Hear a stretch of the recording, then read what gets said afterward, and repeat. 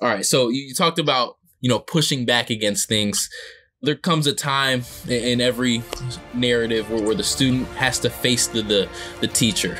And I think that time is upon us right now, man. Because you, you talked about uh, the, the, LeBron narratives and the Warriors, and I know you've called uh, Stephen Curry famously the GOAT, the greatest mirage of all time. Me, yes. I have Stephen Curry ranked number nine all time right now with room to grow on the all-time great basketball players list. So we're obviously on two very opposite ends of the spectrum there.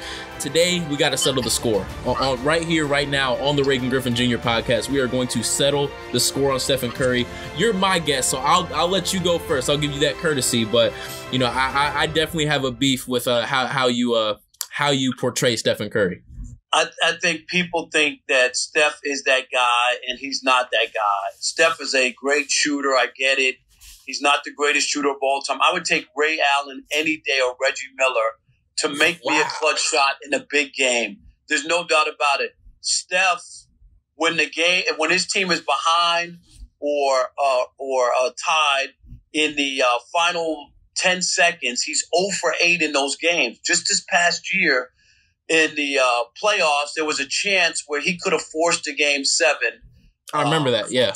And and he had a shot. He had a he had a he had a look. He could have take, taken a step or two in and taken a two. He didn't need a three, put up a three, missed it. That was just another one.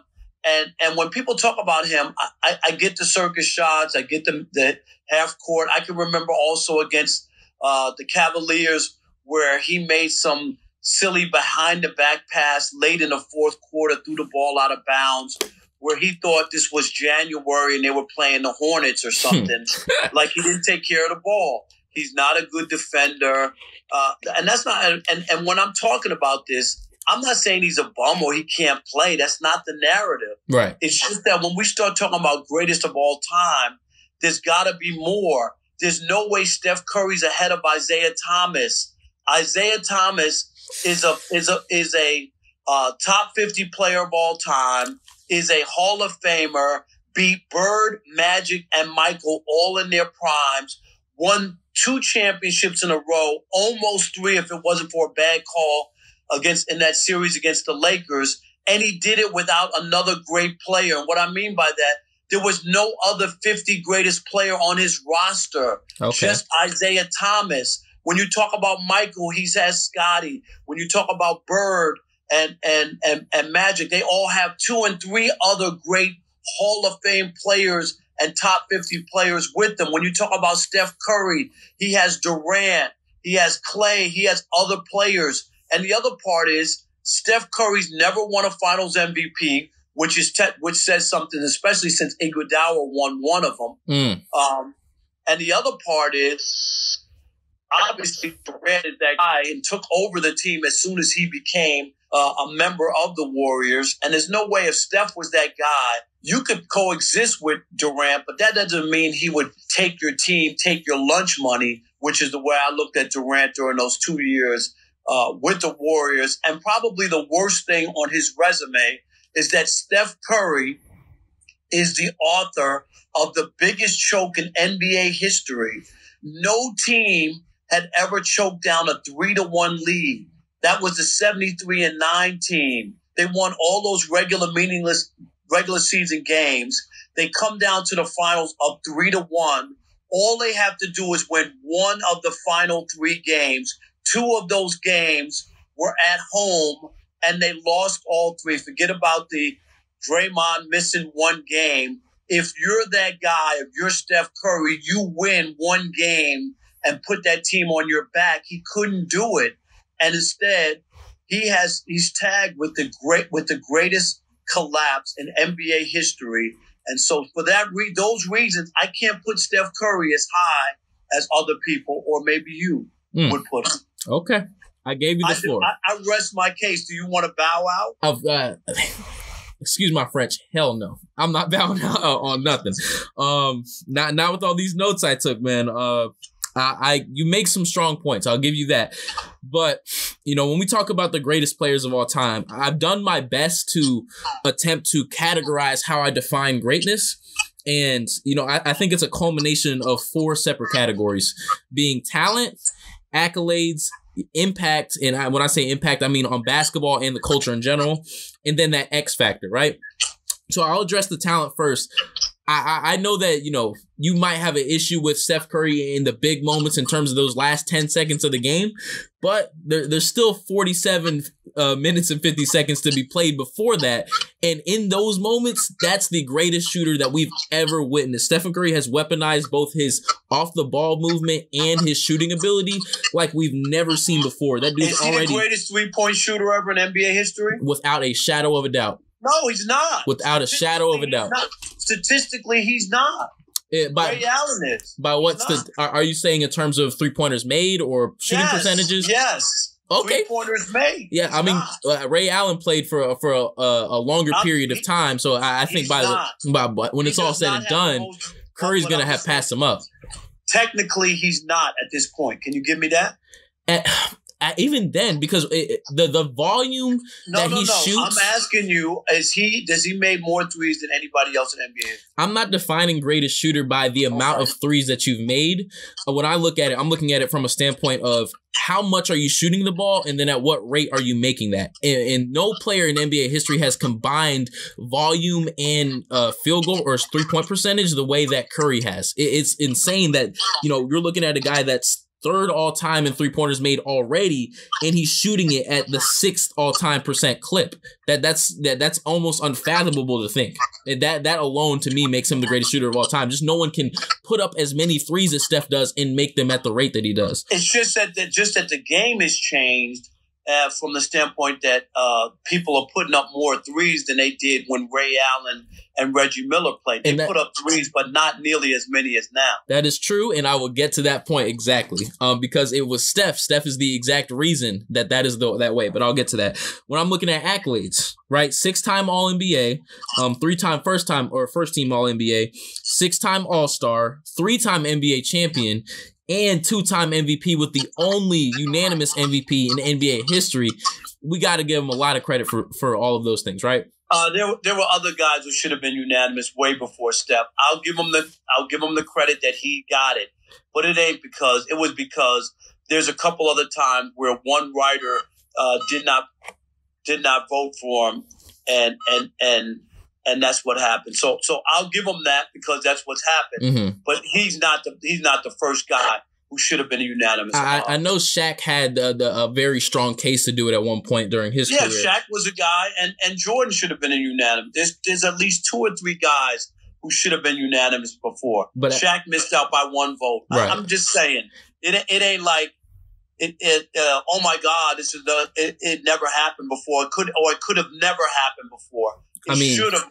As my dad likes to say, shoulda, coulda, woulda, but it didn't. You know what I mean? So you know, I, I get it. so um, all right, moving on to uh, I'll move on to X Factor first because I'll leave Impact for last because that's where I think the biggest uh, argument for Stephen Curry exists. But when I talk about that X Factor, I know a lot of people want to knock him in this particular category. You already did it because you know in the clutch department he's shown some lapses and. I think that the whole choke artist narrative on Stephen Curry is a bit overplayed, but I'll concede the fact that he hasn't proven to be a stone cold killer. He he, he wasn't a Reggie Miller. He, he's not a Michael Jordan. He's not that dude that I'm 100% confident in giving the ball at the end of those games. But let me tell you what Stephen Curry's real X factor is. Are you familiar with the concept of player gravity? A player, Gravity? No. All I mean, here's some ma- here's the made up stats so that my eyes going to tell me I'm watching something different. No, no, no. Because the, the thing with gravity is, I, I the reason because I'm a little bit tentative on a lot of advanced stats as well. But gravity is one of those that I, I'm a fan of because you can visualize it as well as as seeing the numbers.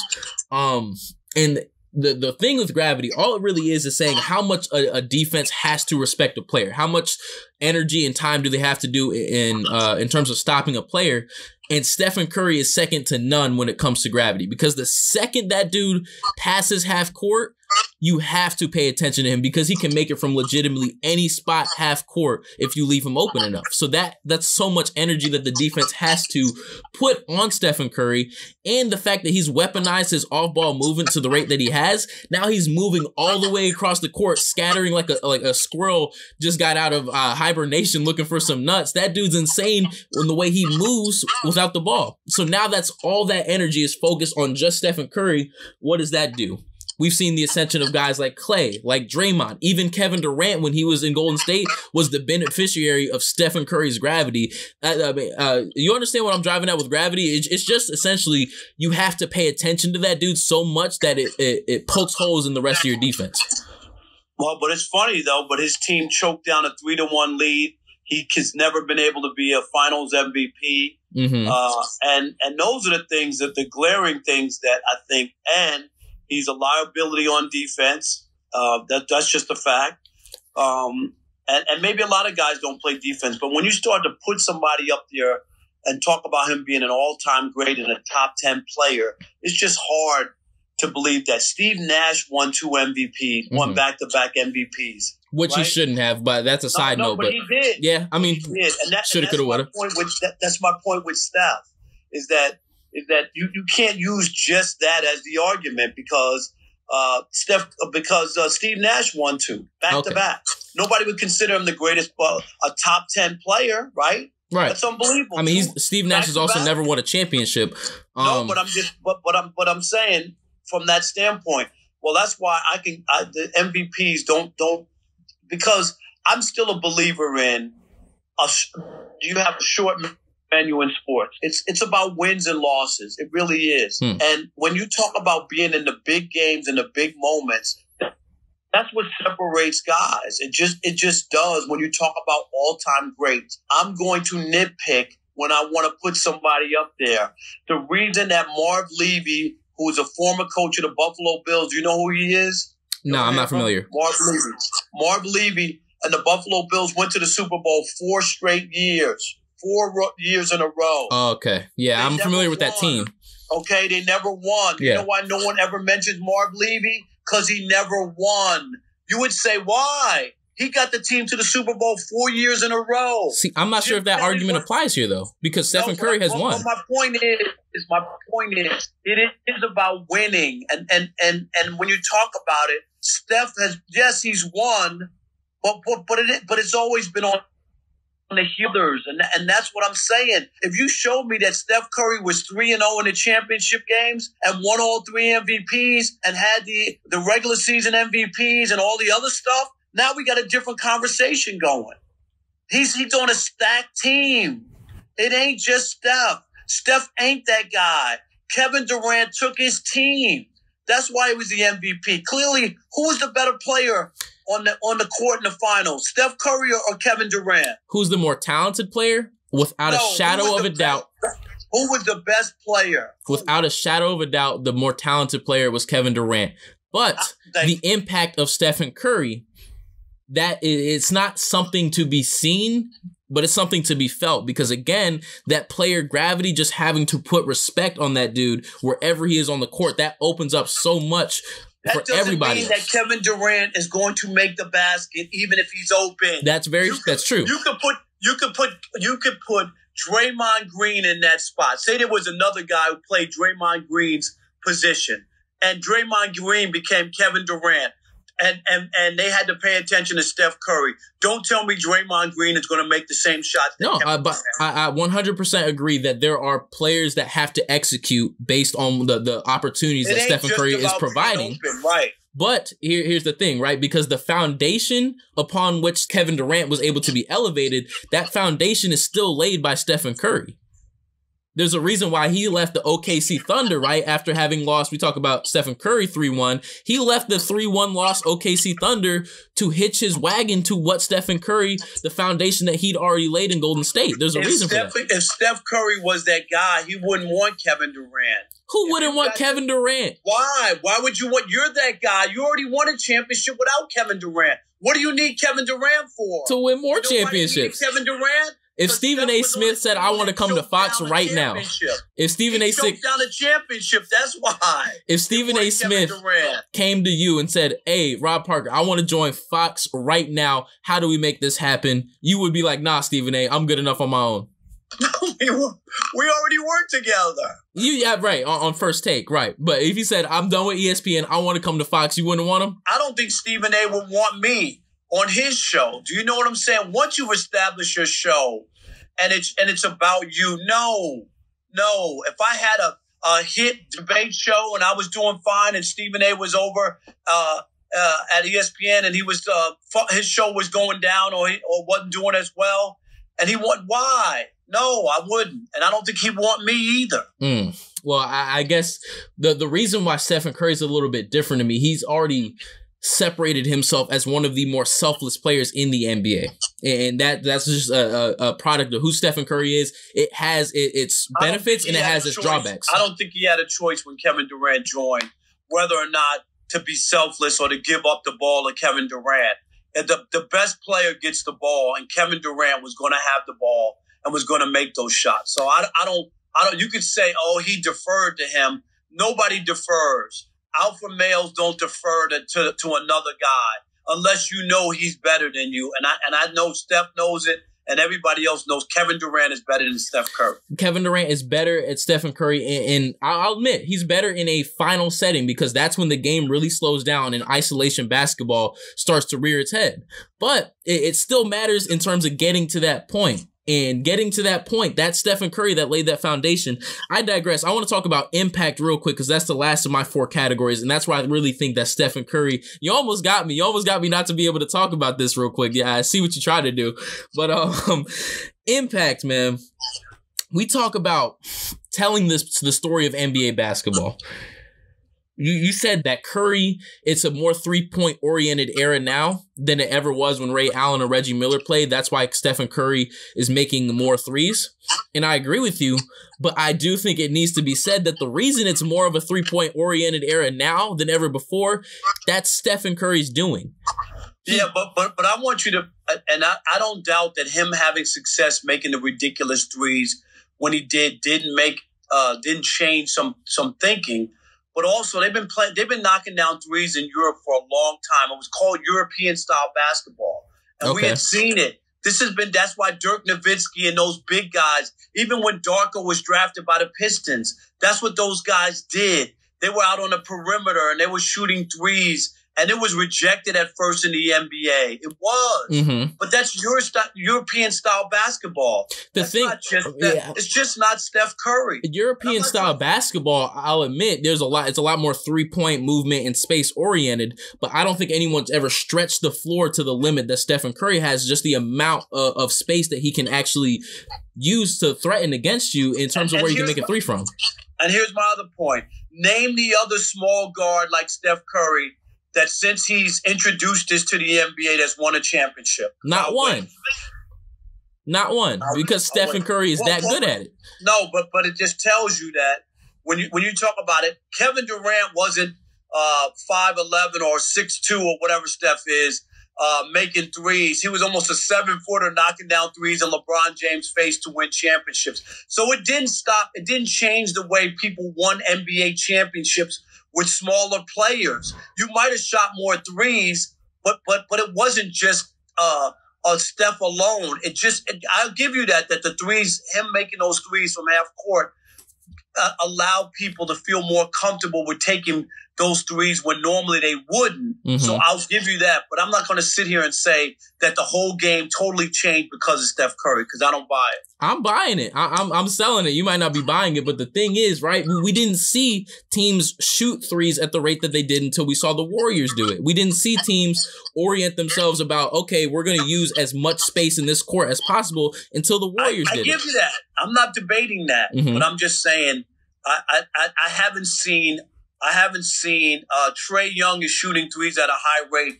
Their te- his team was in last place. Agreed. Uh, so and Trae Young has nowhere near the talent around him that Curry did. But the style of play doesn't automatically mean and he was knocking down threes and, and, and putting up big numbers, it doesn't automatically make you a winner. Is my point. It doesn't. So what's that intangible factor that that separates Trae Young and a guy like Stephen Curry? It means uh, Kevin Durant and the other players that are around Steph. Well, what, what, well, let's think about what was Stephen Curry before Kevin Durant ever stepped foot in, in Golden State. Yeah, uh, two-time MVP, champion, and had complete. He was one game away from having the single greatest season by any player in NBA history. If he'd have won Yeah, that championship, and I'm saying, I know we can play the if game all we want. No, I'm not trying to do that. you just said if, woulda, coulda. I know, I know. I'm, I don't want to. I don't want to do that. I'm just saying the happen. dude was one game away from having the single happen. greatest You know season ever. It didn't happen. It didn't happen. You're right. Because he couldn't win one of the final three games. He wasn't that dude to, to, to win a game for the Warriors when they needed it. And maybe That's Kevin why. Durant was the thing that put the Warriors over the top, but 73 wins in one game away, that's Stephen Curry by himself. That's just like you can make the argument all you want about the Patriots. They were 18 and 0. They tore apart the NFL, right? Well, no, the, the, the, the. Patriots are the Chafote, so I don't even want to talk about that. The cheatingest franchise of all time. But I, They are. I don't even want to talk about the All right. Patriots, but I see your point. You, my, my point is, you can you can hang your hat on that, but he didn't get it done. If he got it done, me and you would be having a different conversation. It just didn't happen.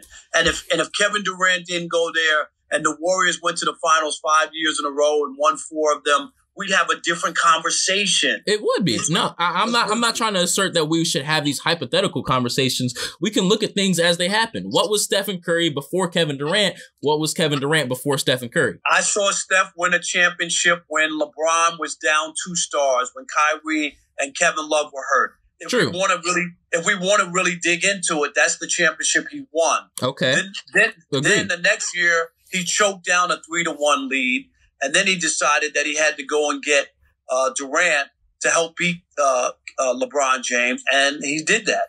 So That's Stephen Curry before Kevin Durant, two-time MVP, only unanimous MVP in NBA history, one-time NBA champion, been to the finals two years in a row.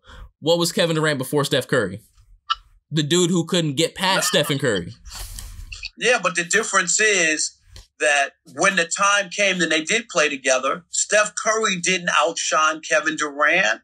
That's my point. If he was that guy, even if you added Kevin Durant, you still would be the guy. It still would be your team. What are you going away from? You just told me he revolutionized basketball. He did. But you're going but you're going to the big man, but you're going to Kevin Durant. In the big moments, yeah. revolutionize the game if Kevin Durant at the end of the day is making the biggest ba- baskets and winning the games and winning the trophy. Because It here's doesn't the, even make sense. here's the thing. Eh, eh, I- I- You're a smart guy. I'm a smart guy. If we need a basket, if we need a bucket, we need an isolation bucket. We just have to give the ball to the best guy who has the best chance of doing that.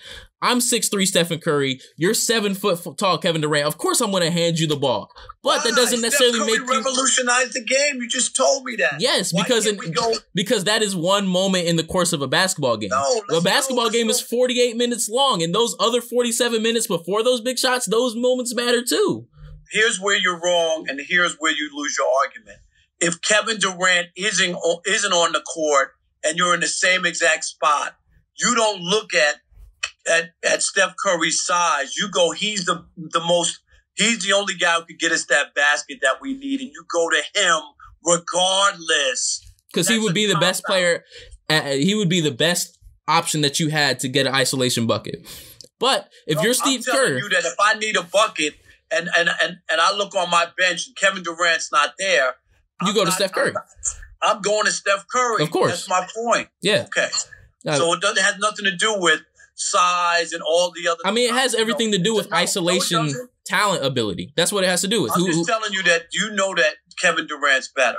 I know that Kevin Durant is a better talent, but he does not have higher impact than Stephen Curry. He's a better player. He's a more talented player, but when No, we talk about when we talk about the greatest players, I think that's a little bit of a difference. But I think we've ex- exhausted that argument. All right, we've exhausted this, and we'll have another. We'll have another round. Hey, of course, I- I'm always here for it. I'm always here for it.